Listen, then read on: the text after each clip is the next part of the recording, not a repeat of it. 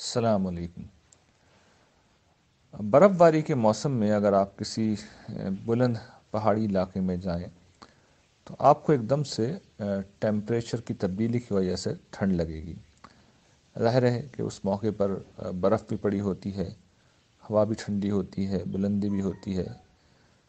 تو نیچرل ہے یہ چیز، بڑی فطری ہے یہ چیز کہ آپ کو ٹھنڈ محسوس ہوگی۔ آپ کو لگے گا کہ آپ کو اپنے آپ کو زیادہ سے زیادہ کور کرنا چاہیے۔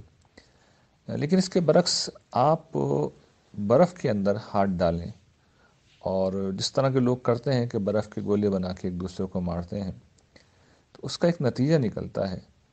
اور وہ یہ کہ تھوڑی دیر تھوڑی دیر پہلے تک اگر آپ کو ٹھنڈ لگ رہی تھی، تو اب آپ کو محسوس ہوگا کہ جسم میں درجہ حرارت بڑھ رہا ہے اور آپ کو گرمی لگنے لگے گی۔ حتیٰ کہ اگر آپ زیادہ ایکٹیویٹی کریں گے تو آپ کو اضافی کپڑے اتارنے کی ضرورت محسوس ہو جائے گی۔ یہ کیا چیز ہے؟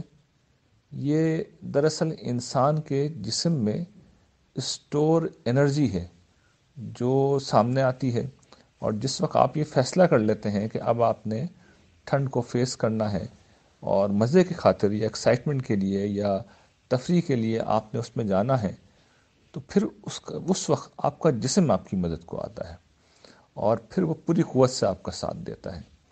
یہ ایک مثال ہے جس سے اس بات کو سمجھا جا سکتا ہے کہ اللہ تعالیٰ نے ہمیں غیر معمولی قوت دی ہے، ہمیں بہت زیادہ برداشت دی ہے، ہمیں بہت زیادہ صلاحیت دی ہے، ہمیں بہت زیادہ استعداد دی ہے۔ عام حالات میں ہم پوری طرح اس استعداد سے واقف نہیں ہوتے۔ لیکن جب ہم کسی بھی وجہ سے فیصلہ کر لیتے ہیں کہ ہمیں مشکلات کا سامنا کرنا ہے اور یا مشکل حالات خود ہماری طرف آ جائیں پھر آپ نے دیکھا ہوگا کہ مشکل حالات میں ہماری جو پوٹینشیل انرجی ہے، جو چھپی ہوئی حرارت ہے، وہ سامنے آتی ہے اور ہم ہر مشکل معاملے کا سامنا کرتے ہیں، حوصلے کے ساتھ سامنا کرتے ہیں، ہمت کے ساتھ سامنا کرتے ہیں اور ہماری انرجی کئی گنا بڑھ جاتی ہے۔ تو زندگی میں کبھی چیلنجز قبول کرنے سے نہیں ڈرنا چاہیے، کبھی مشکلات کا سامنا کرنے سے نہیں ڈرنا چاہیے۔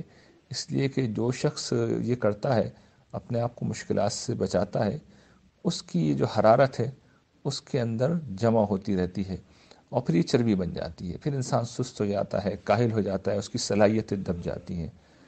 تو مشکلات کا سامنا کرنا، مشکلات کے پیش آنے پر حوصلہ نہ ہارنا، ان کا پوری قوت کے ساتھ مقابلہ کرنا، یہ ہمیں طاقتور بناتا ہے۔ اور ہماری وہ صلاحیتیں ہم پر منکشف ہوتی ہیں جن سے اس سے قبل ہم خود بھی واقف نہیں ہوتے۔